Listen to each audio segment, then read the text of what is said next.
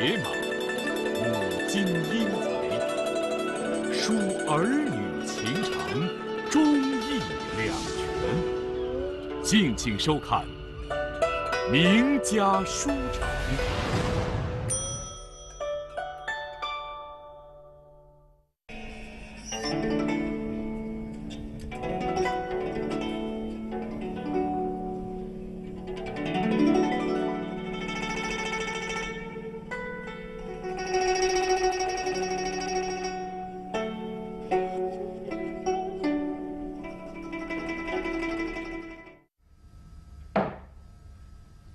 单灵玉四路派兵，抄了敌人的连营，将敌兵赶到疆场。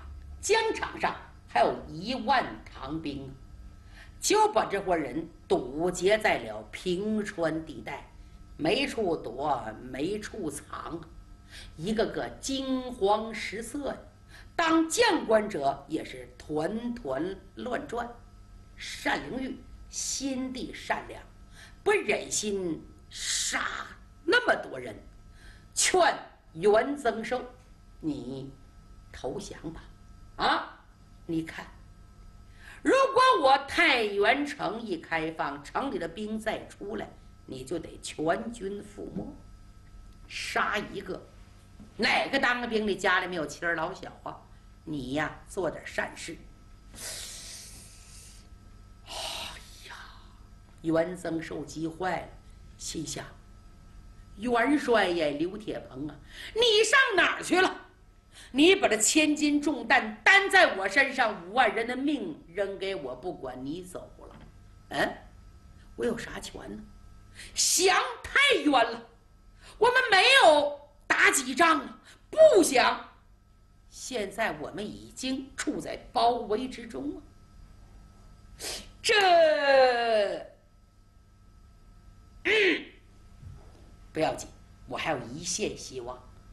只要是刘铁鹏抓住柴少，就可以把我的命换回来。对，待我略施小计。哎呀，单元帅，哎，我佩服您用兵如神呐！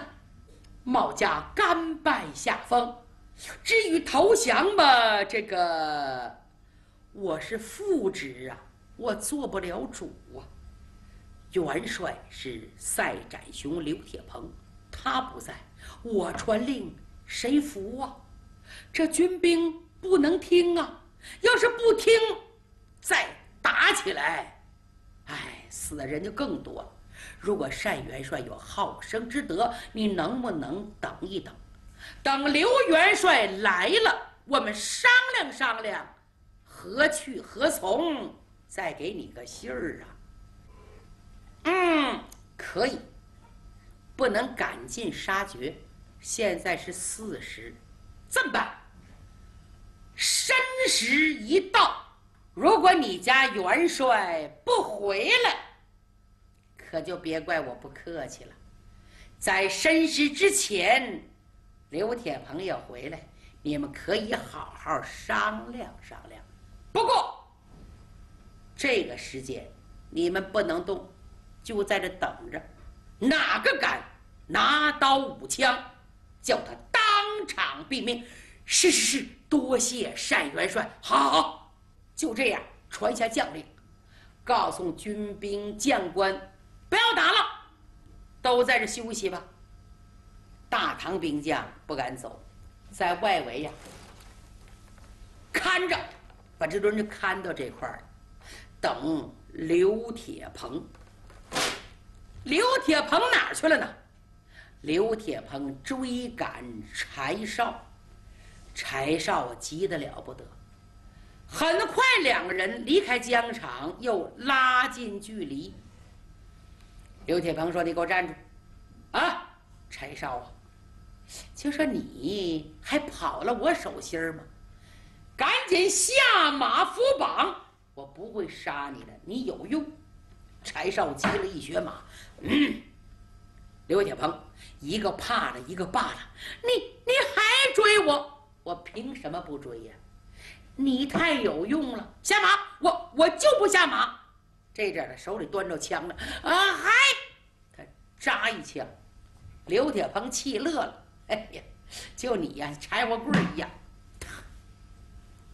一撩用刀，嘘，枪飞了，这边枪飞，刘铁鹏再看，柴少了，又跑了，也不知道跑出多远呐，跑来跑去就进了山环了。前面是树林，他该拐个弯儿啊，嗯，就看不见了。哎，他追进山环，绕过树林，再往前走，前面是三条道，密密麻麻的树林子，耳轮中就听了哗啦哗啦哗啦啦，越来越小。吁，三条道，他往哪儿走？看看这三条道，均有马蹄印儿。哎。别追错了，这追错了再回来可就废了。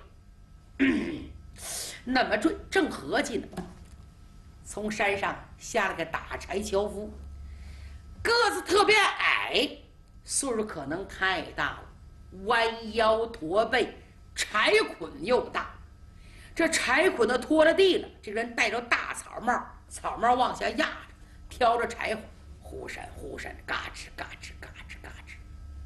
从山上羊肠小道下来，想上正道，往相反方向走。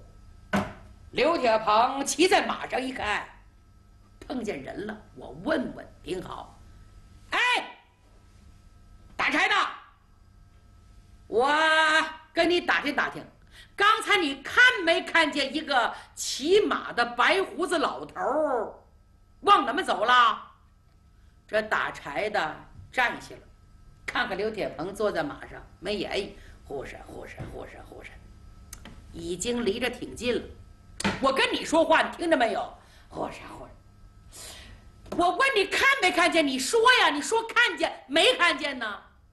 打柴的还没言语，他把柴担呢往旁边一放，旁边是个石头，往这一坐，拿下草帽，忽闪。忽闪的山风，刘铁鹏这个气呀，就凭我掌管五万人生杀大权的元帅，打听个道没人理我。哎，砍柴的，我跟你说话，你聋你不没听见？那是不会说话。樵夫也没瞅他，自言自语骂了句：“哎呀，怎么回事呢？”那我弄不明白，奇怪，哎，会说话呀？哎，我问你话呢，你说什么弄不明白呀？啊？今天我怎么琢磨琢磨不透？啥事儿琢磨不透？我问你话呢，你说我家有一匹克马，哎，带驹子了，好几个月。今天呢，下个小崽儿，你说奇怪不奇怪？那有什么奇怪的？你说下个什么呢？那你说下什么呢？那马下崽下什么？下头毛驴儿。他我就不明白，他这马怎么能下毛驴儿呢？刘铁鹏这个气呀！我说你是不是胡说八道？哪个马下驴？马能下骡子？驴也能下骡子，马下马，他怎么能下驴呢？是啊，他我就琢磨不透，我就不明白呢。你说这个小兔羔子，他怎么不下马呢？这这，嗯，你说什么？啊，我说呀，这小兔羔子他怎么不下马呢？刘铁鹏坐在马上，眼珠子一涮。我说：“他这话什么意思？他家马真下驴没听说？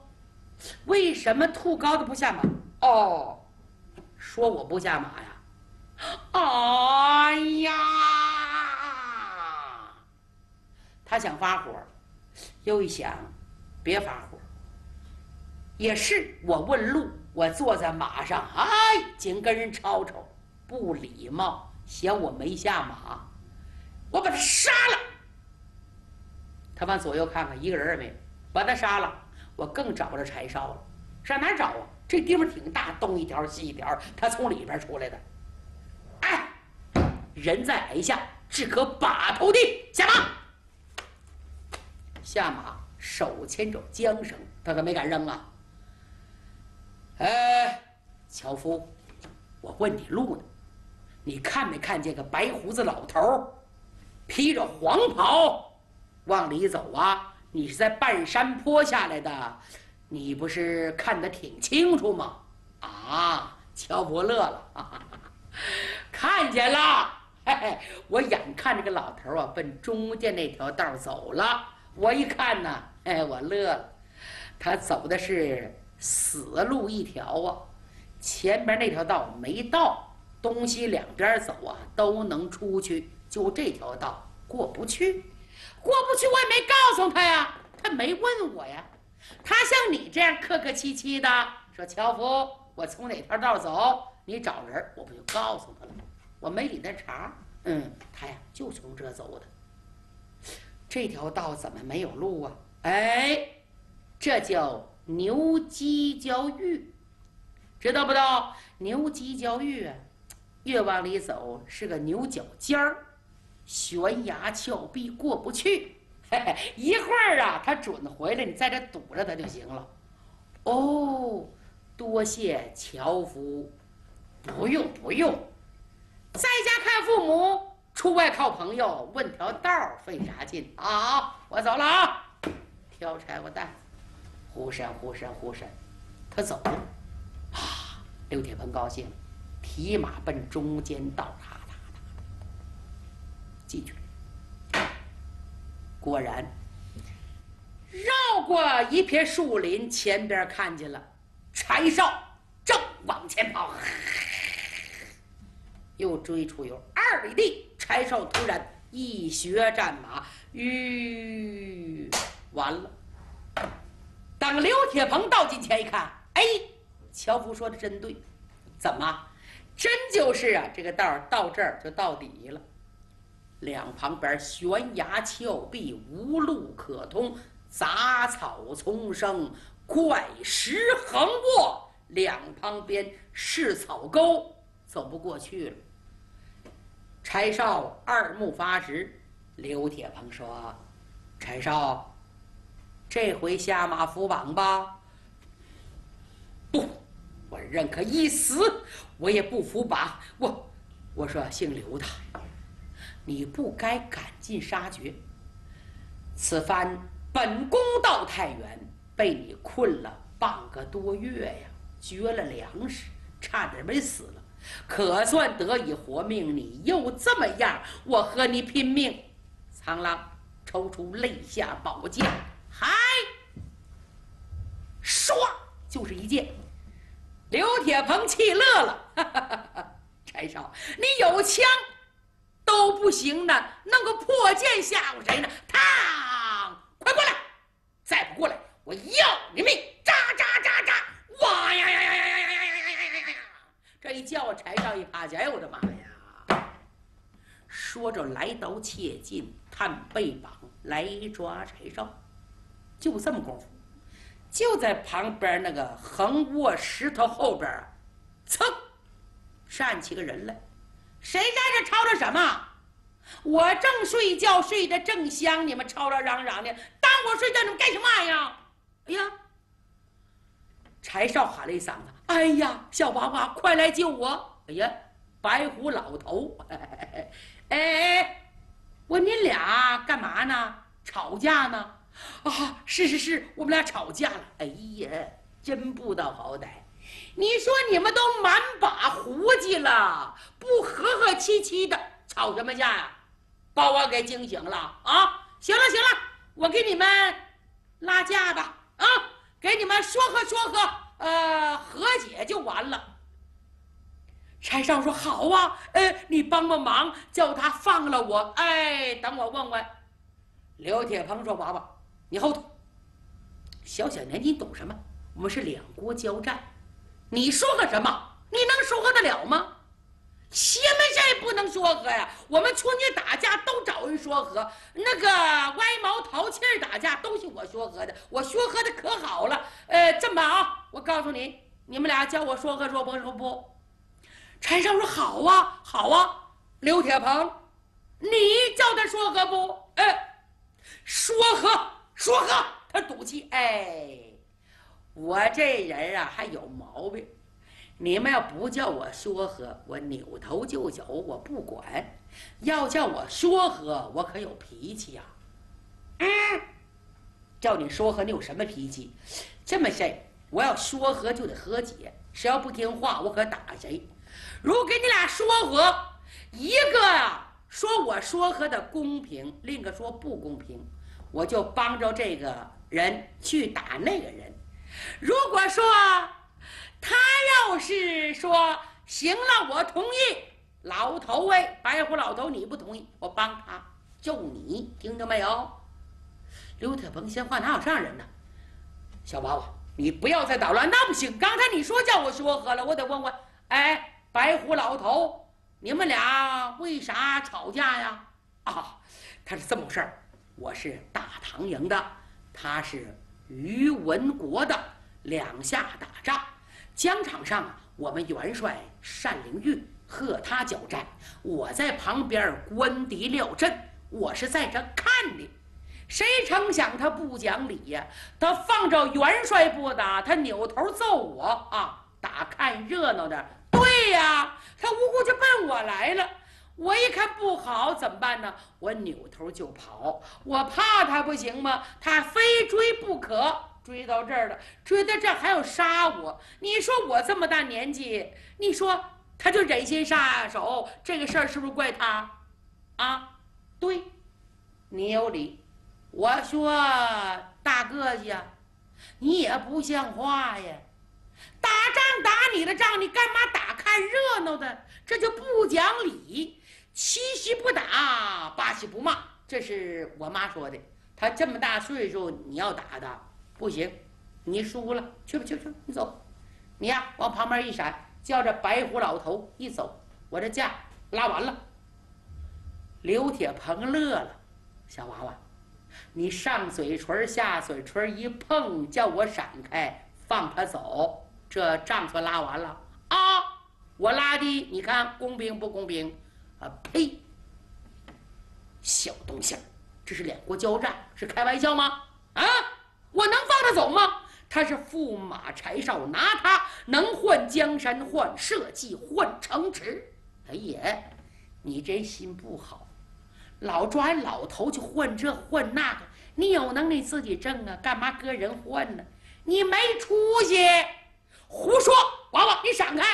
我不想开，我真有脾气。拉架不成，我就帮着白虎老头救你。你等着！说着。这小孩噔噔噔噔，跑到石头后边，一伸手划拉划拉，哗楞楞楞，拿出一对大锤，还小家看锤！哎，我真是有勇无谋啊！对呀，听战将军卒说，大唐营有个小孩儿，是吧？长得干巴巴的，球筋有力气，使锤。我做梦没想到他长就这么点儿，看着十一二岁了。哎呀，我要上当了！娃娃看刀，举刀就剁。那么，柴少到牛角峪，王小义接应，这是巧遇吗？不是，这是单灵玉事先安排的。前文书我已经交代过了，单灵玉说五路派兵活擒刘大鹏。那四路每一路给五千人，一共两万，是超了敌人的营盘。另外一万人堵住疆场的大将。由于刘大鹏、赛展雄确实武艺高强啊，履历过人，硬拼就是小义也不行。小义呀，只能用他一技之长，有力气，三下两下子把对方就砸巴他了。如果真靠功夫啊，那还差着。特别是刘铁鹏，如果不离开他的军队，有五万人，还有那么多的将官，一时难以取胜。就是取胜，也得伤兵折将，要死人的。第一仗要打得漂亮、干净、利索，只能智取，不能力敌。用调虎离山之计，把主将调走，群龙无首，一下子把他包围了。那么这伙人呢，不打自灭。刘铁鹏孤军深入，他也心里没底，把两下分开，故意叫柴少啊马往前纵，落荒而走，后边俩人保护就是崔文静，但崔文静本身呢不太知道，保护他一打镖呢就缓了功夫了，中途有人暗中看着刘铁鹏，真要是伤柴少啊。那不可能，柴少也会功夫。小易在这等候，刘铁鹏现在心慌了，心里没底了，手中大刀搂头一剁，唰一下来，小易精没有啊去正式磕，而是左手锤，照定刀杆上一砸，嘡啷啷啷啷啷，是这么砸的。本来就往下使劲你再一砸，那拿得住啊？嘡啷啷啷，啪，刀掉了。这手锤把刀给打掉，这手锤上来，嗨，眼睛往上看，锤往下打，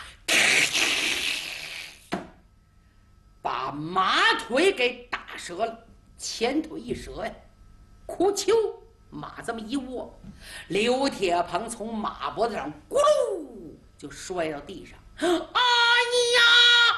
他想起来，再看从草沟里噼的扑的出来七八个人，手拿兵刃，别动！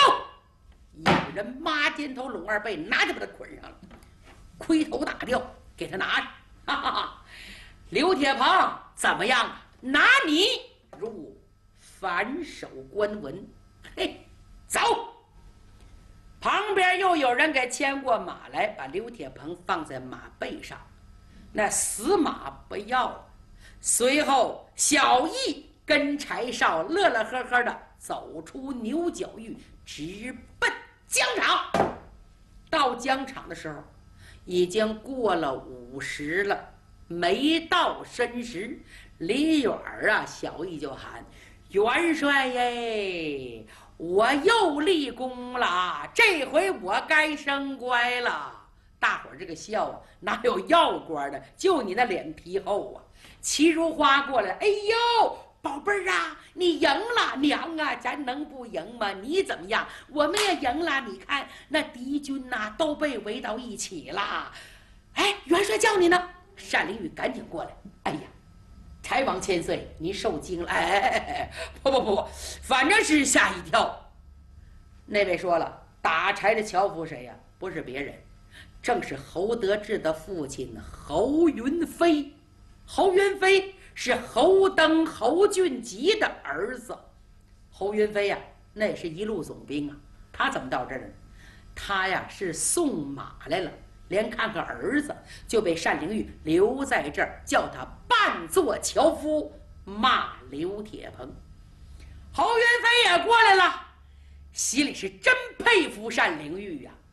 侯德志说：“爹，这回你可立了功了，应该的，我是立功赎罪，丢失关城啊，嗨，有罪有罪。回头再说单灵玉，把刘铁鹏带到眼前，亲解其服。”把盔拿过来，你戴好。为什么？他那几万人都在那边呢。元帅这模样太狼狈了，请坐，叫他坐块石头上。单灵玉劝他：“刘将军呐，现在你还有什么说的？”单灵玉既然被擒，要杀开刀，吃肉张口，皱着眉头，非为英雄。你杀吧，错了，没想杀你。我佩服你是英雄，你是错头主人。为什么担保于文成雄？于文成雄想干什么不到吗？他野心勃勃，一心替他父亲报仇，一心想得皇位。他得有多少人呢为他卖命？尸骨成山，要达他的目的呀，达不到。你还不知道宇文成雄吗？是奸臣宇文化及小妾所生。宇文化及有三个儿子，大儿子天宝将宇文成都，那是英雄，我们佩服。结果死在了四平山。次子于文成龙在瓦岗寨战死。三儿子于文成祥是个花花太子，死在了长安。只有小妾生这个儿子于文成雄最小，是他早早就把这孩子送走学艺，送到雁门关。后来他用钱供着他，成了气候了。他又给居家满门报仇，想夺大唐江山，匹夫汉树啊，能行吗？他小恩小惠对待你，表面看是礼贤下士，实际呢，叫你为他卖命。一人成名，白骨成堆呀。